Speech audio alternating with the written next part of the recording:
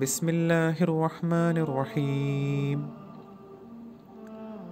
ഹസരത്ത് അബ്ദുല്ലാഹിബിൻ മസ്ഊദ് റളിയല്ലാഹു അൻഹു നിവേദനം നബി സല്ലല്ലാഹു അലൈഹി വസല്ലം എന്നോട് പറഞ്ഞു എനിക്ക് ഖുർആൻ ഓതി കേൾപ്പിച്ചു തരൂ.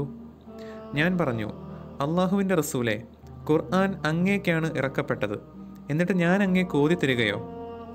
നബി സല്ലല്ലാഹു അലൈഹി വസല്ലം പറഞ്ഞു ഖുർആൻ മറ്റൊരാളിൽ നിന്നും കേൾക്കാൻ ഞാൻ ആഗ്രഹിക്കുന്നു.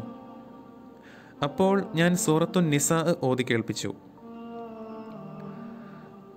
നാൽപ്പത്തിയൊന്നാമത്തെ ആയത്തായപ്പോൾ അഥവാ എല്ലാ ഓരോ സമുദായത്തിൽ നിന്നും ഓരോ സാക്ഷിയെ നാം കൊണ്ടുവരികയും ഈ സമുദായത്തിന്റെ മേൽ സാക്ഷിയായി താങ്കളെ നാം കൊണ്ടുവരികയും ചെയ്താൽ സത്യനിഷേധികളുടെ സ്ഥിതി എന്തായിരിക്കും?